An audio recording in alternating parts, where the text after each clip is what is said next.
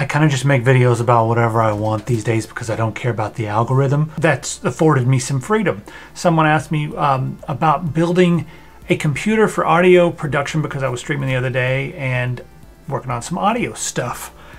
And that's kind of what I want to talk about right now because I'm doing audio stuff. So let's do that, but let's do a little capitalism first. Get your Windows key in order so you're not dealing with the stupid default wallpapers and stuff. And then we'll get down to business with a little bit of uh, advice on audio gear and also um, putting together a computer for audio creation shall we? You've got that stupid logo on the bottom. You shouldn't be living like this. No one should live like this. This is whokeys.com where you can get a really good deal on a bunch of software, but namely Windows and Office. Where Windows Home or Pro, you can also get a combination of Windows 10 Pro plus Office 2019, or you can just get Office 2019 all by itself. So I'm going to grab Windows 10 Pro and then we're going to activate it by clicking on Buy Now. The coupon code is TS25. See that 1875? TS25, apply. There we go, 1406. Once you've made your purchase, it'll redirect you to this page. If you lose this page, you can just go up here on the top, click on this, and then click on User Center. If it's taken a minute, you can just press the F5 button to refresh the page, and hey, there it is, View Keys and Codes. Then click on Get the Key. Here in the middle of the page, that is your key. Copy that, press Start,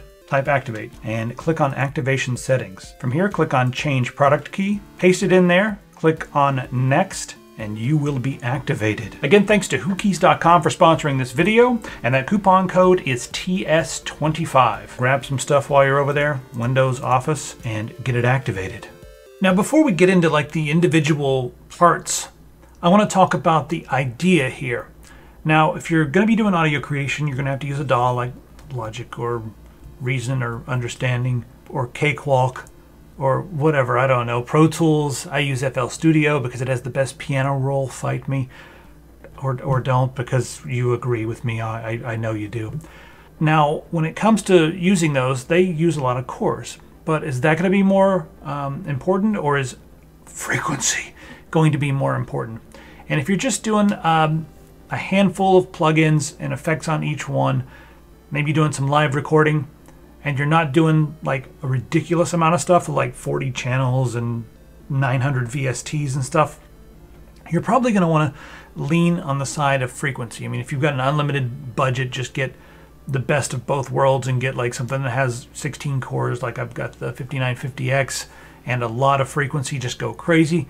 Uh, but if you're on a budget, you're going to want to probably try to start around six cores, maybe eight cores, but you're not going to notice a huge difference um, if you you know if you've got a million cores if your frequency is not as good. So frequency is probably the king when it comes to um, just you know minimal setups and stuff like that. So I think the 5600X is a really good deal right now. Also some of the i7 parts if you want to jump on Intel's bus.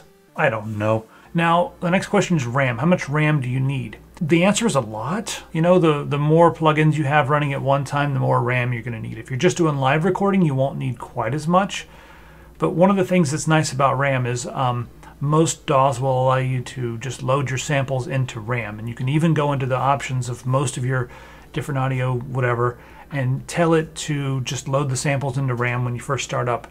So having a good amount of RAM will give you enough space, enough desk space, essentially to have all your equipment. Like if you picture it that way, like got all the all the stuff, just a lot of space to have all your instruments and VSTs.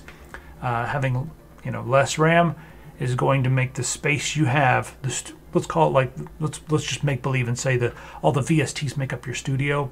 And if you've only got a little bit of RAM, you're gonna have a small studio. So you're gonna have the guitars standing on the keyboardist's neck while you're trying to record and then the drummer he's going to be right there with you as well and everything's just going to get messy and there's going to be some some some slowdown there because you're going to have to record i don't know bad analogy but you get you get where i'm going with that. Just more ram is usually better and if you're using the amd cpus it's a little more important to have a higher speed ram so you can lock it to the infinity fabric and really utilize the full functionality of your 5600x which i had a more commanding voice. The functionality because it's Sounds like it would. All right, let's start with the build and we'll go through the rest of it. But that's the first idea. When we get to the end, I'm also going to mention a few audio interfaces to get you started down that road. All right, so this is the CPU I'm going to go with, recommend that you're going to go with, because it's a good price, very good compromise between price and the speed you're going to get. Plus, it's a six core 12 thread, and that's going to give you a lot of room for you know recording and stuff. I, I really like how fast the CPU is. It's significantly faster than the previous generation. Just note that if you're getting this, you might want to make sure that the motherboard you get, because I'm recommending this motherboard, make sure that it's the latest BIOS. That You may have to do a BIOS upgrade. Just know that. I like this one. It's a full-size board. And the reason I like the fact that it's a full-size board is you still have room for a GPU and we have several extra slots there if you wanted to do some internal PCI audio interface cards or something like that. You could do it that way. I'm going to recommend some external like, you know, uh, USB-C type stuff, but, you know, internal would be uh, an option here as well. And we have a couple M.2 slots, a couple nice sized M.2 slots. And I also like the positioning of this M.2 slot here because it is above the GPU. Now what that's going to do is that's going to move your GPU down a little bit, give you room for bigger cooling units on top if you wanted to get a third-party cooling unit. If you want to go bigger, you can. If you're going to overclock, you can. Um, but this one out of the box is going to be okay, you know, if you're not going to be doing any overclocking. But speaking of over overclocking, this motherboard will allow you a little bit of headroom. It has a pretty good uh, PWM design here. Ooh, look at the MOSFETs right there. So you have a good power design on this motherboard. We have four RAM slots, so you can get a couple sticks, you know, a couple 8 gigabyte sticks now, and if you wanted to upgrade in the future, you could throw a couple more 8 gigabyte sticks on here. So this really checks off most of my boxes when it comes to this. And you're not going to have to worry about the onboard audio, even though it is a decent audio option here. You're not really have to worry about that because you're going to be using an external interface. Now, when it comes to the RAM I mentioned, you need a decent amount of RAM. So I, um, I like going crazy with the RAM.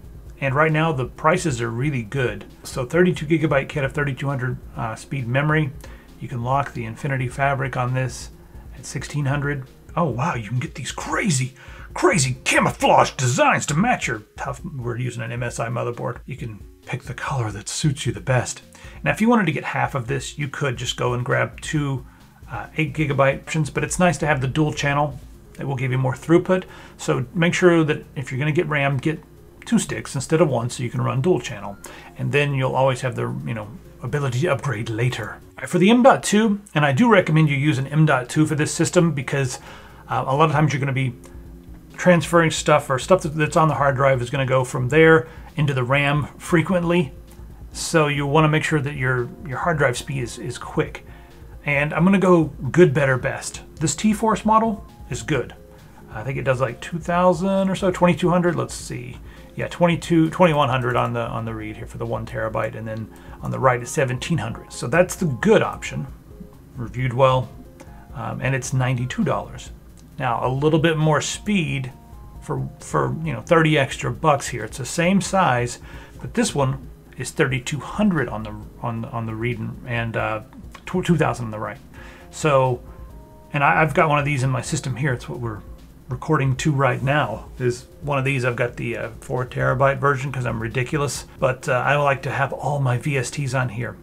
Now, if you've got a lot of libraries, you may need to get a little bit bigger of a you know a drive but this is, you know, to get I'm beatboxing. But this is pretty good to, to start with. As you can see, once you get it to two terabytes, the price jumps up, you know, quite a bit. But having a bigger drive really helps. I like to use one of these as my extra drive. So if you have a budget, grab one of these as your main drive because this is PCI Express Gen 4 and this is ridiculously fast. So yeah, quite a bit where this this this is weird right up, but yeah, this will go 5,000 or more on the read. So get one of these, and then one of these as your secondary drive, and then throw a folder on there for all your VSTs and effects and libraries, and if you've got native instruments and stuff like that, uh, samples or whatever, throw it on there because you'll have more space to play with. Okay, graphics cards. This is an audio build. I, I tried to find something that was decent for gaming the graphics card market is garbage right now. In order to get a 3080, I bought a, a custom built system, waited three months, it showed up. I took the graphics card out and sold the rest because that's the, it was cheaper to do that than it was to go and buy a 3080. Literally, I saved a couple hundred bucks getting an entire system. So it's it's absurd right now. If you need this, look on Craigslist. It's kind of ridiculous, but a friend of mine just got a um, 3060 Ti for 700 bucks on Craigslist. Richard, how you doing, buddy? okay, so the question really should be like, what's the minimum? You know, you can get like a, I don't know, a 3450 or something like that, like a cheaper 50 to 100 dollar AMD. And as long as it supports the resolution of your desktop and it has a couple gigabytes of memory, it'll be fine. As long as you're not doing any gaming, you're not going to be using the, the graphics card when it comes to you know doing all the processing and stuff. That's mostly going to be your CPU. Now, if you also are going to be doing Premiere or you're going to be doing some you know productivity, um, then you might want to get a better graphics card just for that. But for audio, it doesn't matter that much. I'm just thinking, you know, if you want a game as well, you may as well get something to play games. 1650 can play games decently. The 4 gig version, yeah. I'd rather have an 8 gig card, but if you're playing them at 1080p, you're you're okay. This will play games at over 100 FPS on medium settings. Most most modern games, but not Cyberpunk really. All right, so the Seasonic power supply. You want to have a nice, clean power supply, uh, and I like the Seasonic drives quite a bit. They make a, they OEM for a lot of other companies out there, and they've been the kings here and there. They're, right now, it's much more even playing field, but they've you know, they've been top of the line for quite a while. It is 80 plus bronze, and this system should run it in like the 70 to 80 percent capacity, which is usually where the highest efficiency is. So I, I, would use this. Okay, when it comes to the cases, a couple different considerations for an audio build. Are you going to be doing microphone recording, and are you going to be in the vicinity of your case while you're doing that because it'll get picked up you know like the fans and stuff they might get picked up especially if you have a, a mic that's you know sensitive and you know it's picking up a lot of the tones in the room and everything like that. You may be able to hear um, the fans. If the microphone's going to be really far away, or if you got a long cord, you can put it in a different room. Or if you have a sound booth that you've done some audio treatments to, then you'll you'll be all right. But I usually go for a small-ish, uh, but but still you know full ATX case. And this Corsair 100Q is somewhat silent, as you can see. We've got foam on the inside right there. It's uh, not gonna have the best airflow, but it's gonna be quieter. If you're okay with like noise because you're just messing around with VSTs, even if you're plugging a guitar up uh, or something like that and, and recording that or a, a, keyboard or something like that, not a not a MIDI interface, but like an actual keyboard. If you're recording those sounds into your computer, uh, well, even if you're doing a MIDI interface or whatever, that's not going to be a big deal because you're not recording anything that's mic'd. It's not going to pick up the the hum of the fans. So you'll be okay with something like this, and this is a very good price. I don't care about these stupid rebates. This also comes with a couple of fans, which is nice to have out of the box. Um, if you really, really, really wanted silent, just go ahead and grab a few Noctua fans while you're here on, on the site. Just get some, there you go, just grab some of these. They're solid and ugly. And two of them cost as much as the entire damn case, but it's worth it because they are silent and keep everything cool. I would cool everything with these. And if you want to go crazy with the silence, like get one of these for your CPU and things will be nice and quiet. A couple Noctuas, this on top of the CPU, it'll be a beautiful thing. Just put Noctuas all in your case, everywhere. All right, let's talk about audio interfaces for just a minute. The audio interface that you need, a lot of that's going to depend on how many channels uh, you're recording. Now, the question I got the other day was specifically for multiple channels, and this one gives you a few different channels, not a, a gazillion, but you can see on the back here, uh, we have a couple inputs on the back. And I like this one also has two headphone uh, outputs. Got some balanced stuff here. I don't know about these RCAs. At least we got some balanced outputs right there, but we've got RCAs, MIDI pass-through, USB-C. But the one thing I like about the SSL SSL2 Plus, uh, you get two in, four out. There's a just SSL2, and that one only has um, two outputs, but it's very similar I'm going to find it down here. It's somewhere down here. But the thing I like about this compared to like the Focusrite and stuff is it has lower latency and that's the how fast it is to record through this interface, get it to your system and then have the audio come back to your ears so you don't perceive any delay. Now there's a few things you can do to mitigate this on top of just having a decent audio interface. This That's probably one of the most important things. If you try to record it straight into your computer, you're gonna have delay that's noticeable like 15, 20 milliseconds. like you you'll play the note on the guitar like dong, and then like you'll have like a few milliseconds, and you, then you'll hear it, and it'll be weird. It, it makes your timing, it messes it messes you up. There's a few other things, like I said, you could do to mitigate this inside your DAW. You can record at um, you can set, set your environment to be 4800 uh, kilohertz or higher. The higher you go, the lower the latency the environment's going to be, but also the more difficult it is going to be for your CPU to process everything. So you're going to need a really beefy CPU if you bump it up to like, you know, 192 kilohertz or something. I like that 192. Did I say? Well, you get what I'm saying there. The more you bump it up, the lower the latency, the more difficult difficult it is for your CPU. I would think most people who uh, are grabbing that six core, or if you want to go with the eight core 5800X or something like that, you'll be okay at 4800 and it might be a good compromise to get that in one of these and just be good to go. So the other options, if you uh, want something that's a little smaller, a little lower priced, these are awesome. I probably like this over the Focusrite because it does have slightly lower latency than the Focus uh, than the uh, Focusrite, but th that's also a good interface. Everybody likes this one, the Scarlett, um, and the Scarlett here. This is a four-channel option, but you know a lot of times when you're looking at this stuff, the things that are going to be important are the inputs and outputs that you need for all the equipment that you have. And, uh, you know, think about this. Do you need nine things plugged in at the same time? You know, if you're recording an entire band at the same time, then okay, well, you might need to have these four mics, you need phantom power and all that stuff. So you got a couple of them there with phantom power. And, um, you know you may need something like this to record multiple things at the same time or if you if you're obviously if you're recording an entire band at the same time you might just want to go ahead and get like a full-on mackie digital board to plug up so you have like lots of channels uh, we're not going to go that crazy in this video we're keeping it smaller but if you're you know recording 10 different instruments but you're only going to record one or two at a time then this will be just fine because you can record a couple at the at the same time. So it's all up to you. This is the one I use because the latency. I, you know, for the lower cost stuff, you know, you can spend over a grand and get even lower latency and stuff. And there are some out there that um, will actually load the plugins on the audio interface.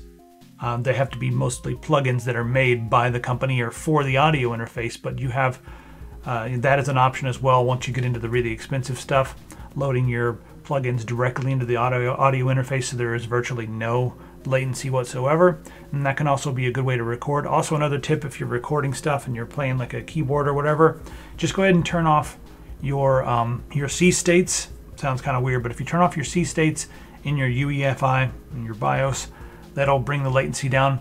Make sure that your USB in your device manager, make sure all your USB ports are set to um, not turn off or not be disabled for any power or anything like that. Just make sure they're on full power. You can go into the preferences and set that up. So like in Windows, you press just the, the Windows key and X, and it brings up this little menu, and then you can click on Device Manager.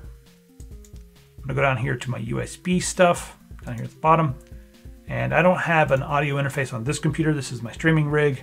So, you know, just, just click on properties on these devices. Make sure uh, power management, make sure you uncheck this. See where it says allow the computer to turn off this device to save power. Just make sure that is not check marked. If you know where your audio interface is turned on, you can just uncheck that one. Otherwise, you may have to go and uncheck all of them. But that'll help with the latency. Um, and then while you're recording, if you're still getting some like latency and stuff, you may want to go in and just turn off all the effects that you're using and just record to like the most basic thing and then you can put your effects back on once it's finished. If you're sending it through an entire stack of effects, you've got echo and reverb and, and a compressor and all that other kind of stuff on there, an exciter. If you have all that stuff going and you're trying to record at the same time, everything in that stack is going to add a little bit of latency. So by the time it gets back to your ear, you may be pressing a button on the keyboard and then being like, ding, ding, like you don't want that. So everything we're doing here is to reduce that to make it easier uh, for you to record your stuff. Live instruments are a little bit easier than instruments that are VSTs that have to go into the computer, then out and back, and then you know all that kind of stuff. So anyway, that's uh, is that everything? Yeah, I believe that's about everything. Right? Yeah, that's all that. All right, so that's the uh, audio recording computer that I would put together. So if you want to hear some of my stuff, I'm currently thinking about making an album that's dedicated to Deus Ex, the original game, just because I was playing around and ended up with some sound effects and stuff that kind of reminded me of Deus Ex. This is not, I mean, like, they're just electric pianos and stuff. And we even have some echoey. If you played Deus Ex, you might have heard that before.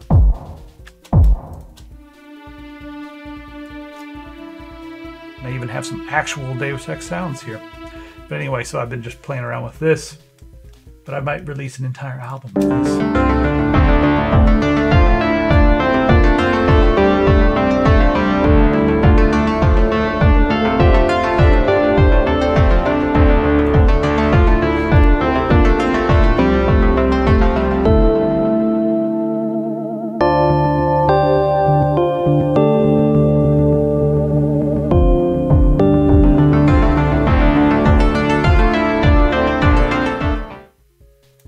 Enough of that.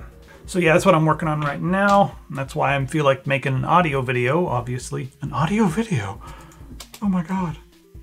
Um, that's why I feel like making this video talking about audio products because that's what I'm doing currently um, on the side.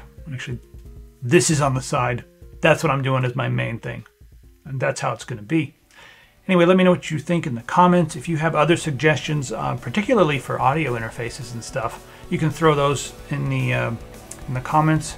If you have any other questions and stuff, hit me up on Twitter. Or if you have advice or suggestions, maybe you're in the industry and you're like, "That's something you said wasn't right, man."